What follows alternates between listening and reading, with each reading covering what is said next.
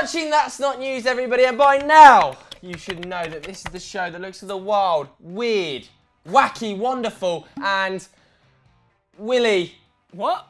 No, from around the web from the past seven days, all of the W's bar the Willies. Yes, there won't be any Willies in this episode, let's hope. Coming up on today's show, we'll be teaming up with you guys at home and reviewing the updated version of Takeshi's Castle, a little chat about Stranger Things 2, and of course, we'll award the much coveted King or Queen of the Internet. Are you ready? I'm ready, baby. Are you ready? Crown me now.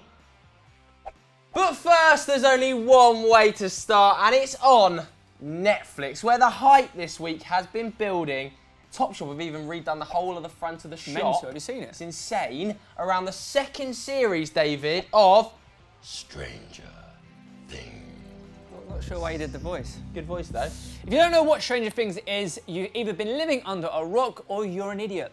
You're the idiot. Yes, I said it. Either way, it's basically a sci-fi drama set around a group of friends who go on a search, on a manhunt for a lost friend in a different dimension. They get sucked in to the upside down world and they try and find him. Uh, I think it's one of the best shows on Netflix. Uh, I actually read some stats the other day that 14 million people watched the first one, and get this 70% of viewers that watched the first episode of the first series of Stranger Things watched the entire first season. Addictive television. Yes, I think it's overrated. You're an idiot. How can you think it's overrated? Oh, it's just, it's, it's, it's not a bad show in the slightest. It's actually very good. But the way people go on about it, like, it's like they're comparing it to like the greats, like your Mad Men's and your Sopranos, and your, it's, it's, it's five kids trying to find someone in some stupid Yeah, but universe. it's brilliantly shot. It's awesome. I mean, Stranger Thing 2 is so hyped now. Is I think the best thing about it is the kids kids acting. The kids acting yeah, is yeah, outrageous. they are, they are very good. But that doesn't mean it's a great show. Yeah, but obviously they took home loads and loads of awards. I think it's the seventh most watched show in Netflix history. it's very good. This it's, series it's is going to be hyped. probably taken even higher. It's not. It's not. It's got a great soundtrack. It's got that you know Stephen King kind of vibe to it, and I think it has a very like, a, a lot. Of, it has a lot of nostalgia for a lot of people. Yeah, who- true. Who, actually the people that have actually subscribed to Netflix. That's why people love it so much, and they go, wow, Net- you know, Stranger Things. But in reality, it's not that good of a show. Oh, I think this is right up there with the best shows ever. I'm being serious. But what do you think at home? Who do you agree with, me or Dave? And is Stranger Things up there in the all-time great Netflix shows? Let us know your thoughts in the comments below.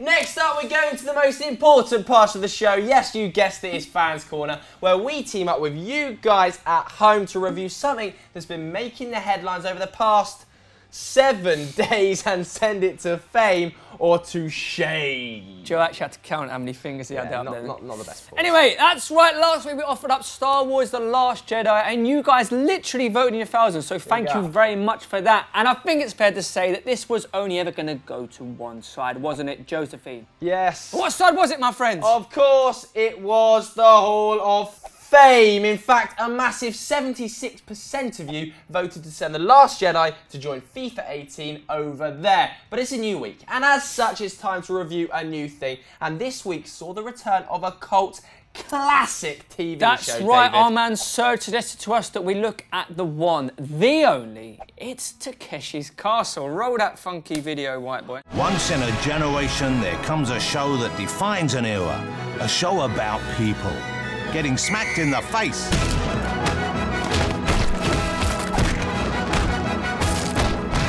It's bigger. It's better. It's back. Join me, Jonathan Ross, for brand new Takeshi's Castle. This Japanese gem is returning to Comedy Central, and what have they done to it? It's got a whole new look, feel, modernised. It's got Jonathan Was commentating on it instead of the iconic Craig Charles. They've ruined it. It's modernised health and safety rubbish. The original people were genuinely breaking backs. Yes, we'll be back on our screens soon with the one and only Jonathan from Ross. But what we want to know from you guys at home by voting in the poll should we send Takeshi's Castle to the Hall of Fame or the Hall of Shame? Click the button and vote right now. Obviously, send this to shame. Whoa, I don't know. Seriously, modernised rubbish. But anyway, we also want your suggestions for next week's hashtag Fans Corner. Get them in the comments now, and you will be featured. Viral clip of the week time now, Joe. And would you, Adam and Eve, your mate Jonathan Ross is getting his second shout out of the week because of his talk show. produced one of the greatest, maybe finest moments in British TV history. What an exaggeration. What an exaggeration. But seriously, it is quite funny. That's because the nation's favourite grime superstar, Stormzy, appeared with his best mate, my hero, Bradley Walsh. And unsurprisingly, the bromance was very, very real, David.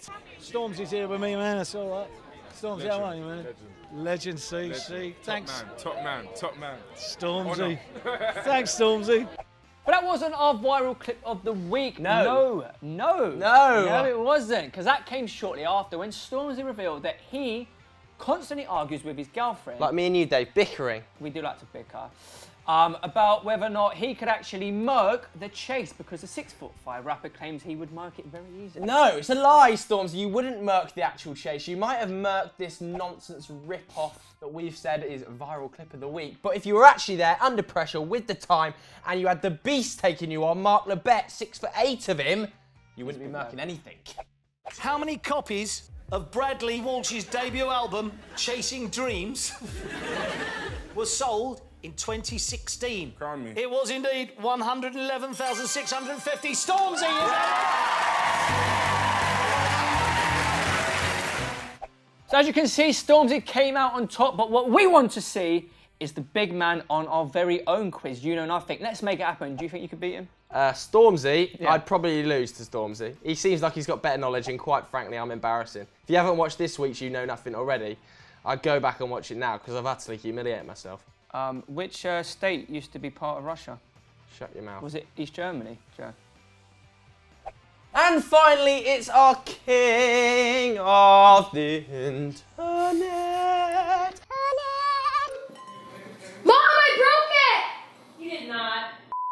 And this story has to be one of the most bizarre we have ever had on the show. Get this headline.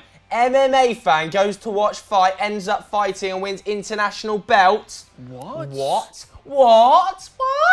What?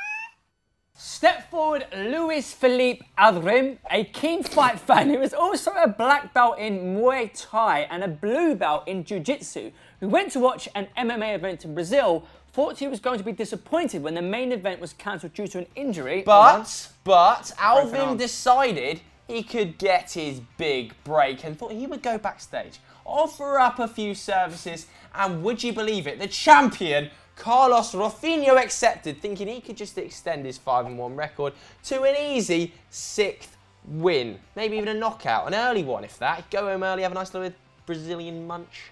What's that then? What's Brazilian munch? Paella, is it? No Spanish. Again. Anything else? No. A bit of samba. Yes, he can enjoy some samba with his 6 1 record, but no, that was not the case. Because the man gets in the ring and actually makes him tap out. Unbu- this is ridiculous. This is absolutely ridiculous. There is a video playing on screen now. He was there in front of 1,500 people, all watching on, expecting a crucifixion. oh, what? Is that a word? I might have just made it up, but nevertheless, it didn't happen. Alvin won the belt, his family went mental, and as you can see, this is more than worthy of our king of the internet. Congratulations, Alvin. Put them explosions on screen now. So that's that's not news. Thank you so much for watching. Thank you all of the Football Daily family that came over and subscribed to our brand new channel. Yes, and make sure you get your suggestions in for hashtag fans corner for next week. Vote up there to send, uh, what was it this week? Takeshi's Castle to fame or shame. Memory is not great. And go off and watch You Know Nothing like we said earlier. Thanks so much for watching. Jacko, sign them off. Peace.